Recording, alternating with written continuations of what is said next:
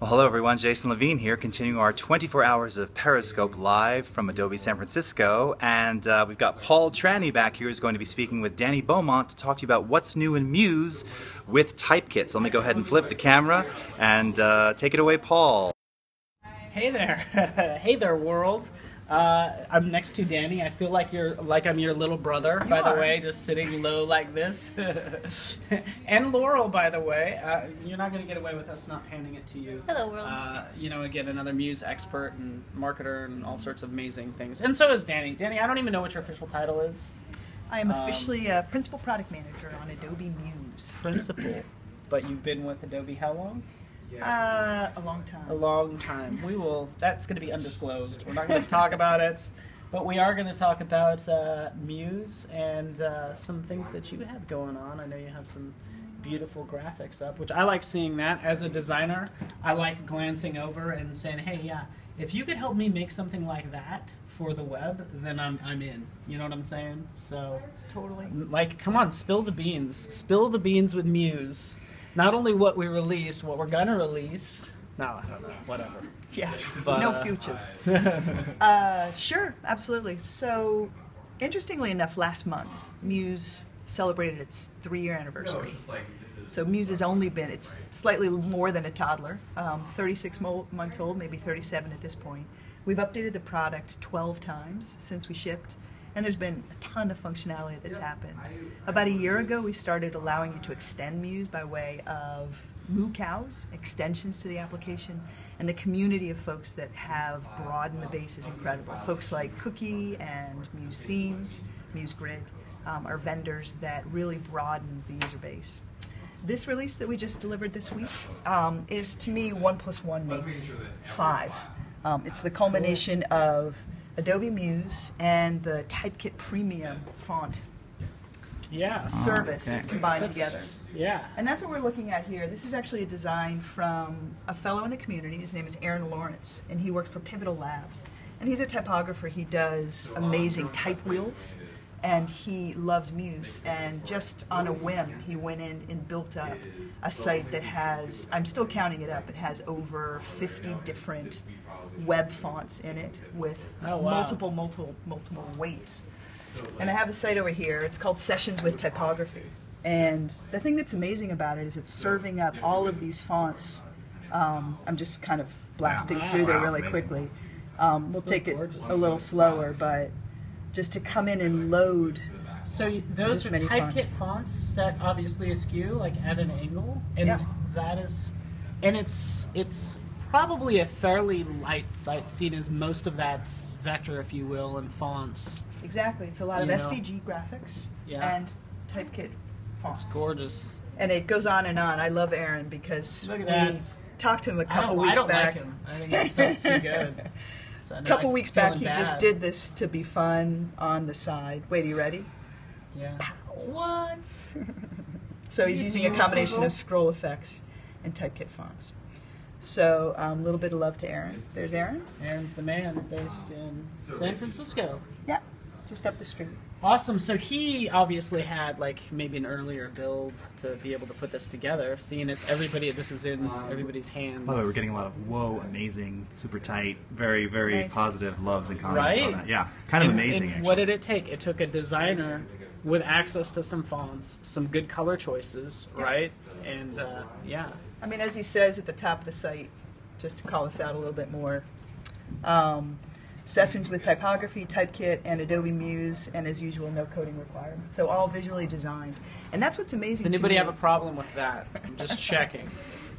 What's amazing to me is that never before have visual designers had thousands of typekit fonts on a design canvas that they can interact with. So it's exciting. We're really having a lot of fun with Yeah, it.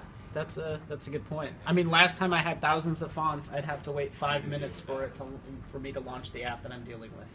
And you're looking over So- at the foundry over here and tight, you know, coding it in another area to see it on the canvas and experiment. I think is so much fun. Yeah. So we're really excited about it. And uh, So can we, and this is do. his actual file. Is that what's going on here? This is the actual file. Yeah. So if I, I zoom it. out a little bit here, so here I am in Muse. By the way, from So Fanciful, um, Muse is awesome, and so is Dani. Ah, yeah. Yeah, you are really like.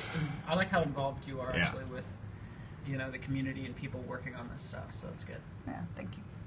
Um, so yeah, he's got a couple of different pieces here. Again, it's a combination of scroll effects and the fonts. Um, he did a phone layout so that it loads a little more lightly on the Uh-huh. phone um, and the desktop design. So if you select an element, can you just show s- just like s- show the scroll effect panel? I don't know if it will.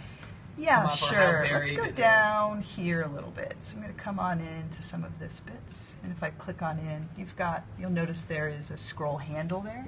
And Uh-huh. here, I've been playing with the site a little bit myself, just to kind of look at it.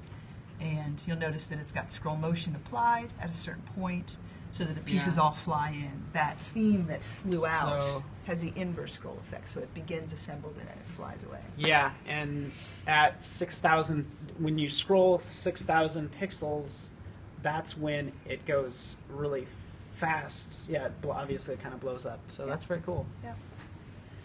I love it. Yeah, I mean, what else? I mean, honestly, I think you have a lot of your bases covered because what's not already built into Muse, you have, I don't know what you call them, but you have the different, obviously, the Muse themes, the different MuCows that you have going on. You have other Yeah, people, absolutely. you know, sort of filling in the gap. I don't know. Let me show you a little bit of that. So um, on muse.adobe.com, it's a great place to go to see all of the elements and pieces together. We have a tab here for widgets, and this is a widget directory. There are hundreds of widgets that are contributed from the community. Some are for free, some cost money. Um, Again, as a designer, five bucks here, ten bucks there. But they take all of the common web patterns that are honestly happening more quickly than the engineering team could keep up with. Let's say full screen background video. It happened fast. Um, Yeah. Somebody in the community using JavaScript and some custom um, CSS built out full screen videos in the background using a widget.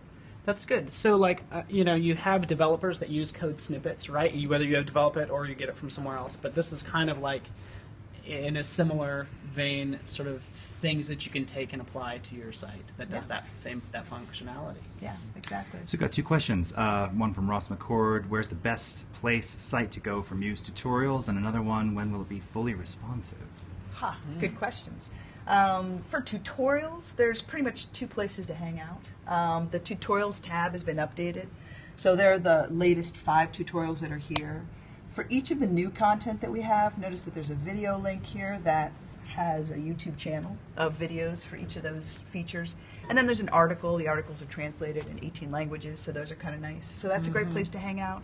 Um, CC Learn, folks, Yeah. so adobe.com in the Learn section of the product page has all of this and lots from the community that's aggregated from And lots of even- places.